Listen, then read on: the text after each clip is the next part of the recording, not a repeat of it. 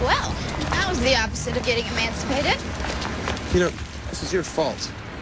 My fault. God, if you hadn't jumped up, if you just let me sign the thing.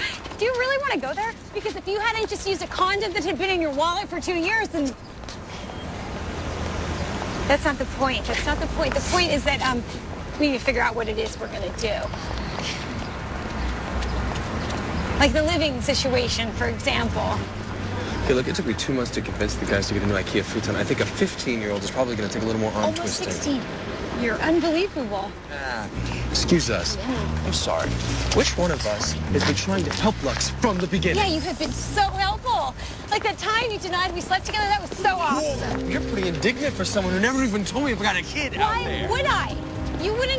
You wouldn't even admit that she existed. My God, Cate, what did you want me to do? Propose, marry you? Because the last time I saw you, you didn't exactly want a kid either. Yes, I did not want a lot of things when I was 16.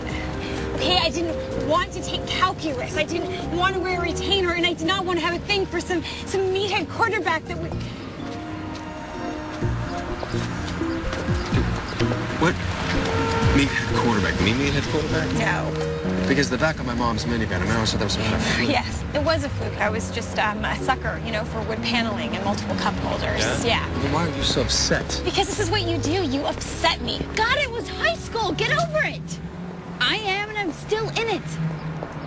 So what? He let you down like you've never let anyone down before?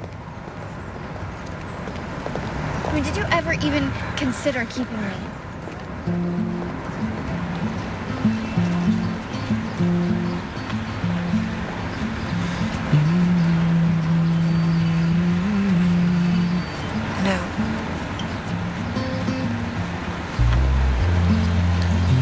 Get to choose. Seriously? I'm going back to foster care. You can't be parents. You both need parents. You know the gun. Wait, let's wait. When's No, just let me go, okay? You did it once. It shouldn't be that hard to do it again. One foot in the grave. One foot in the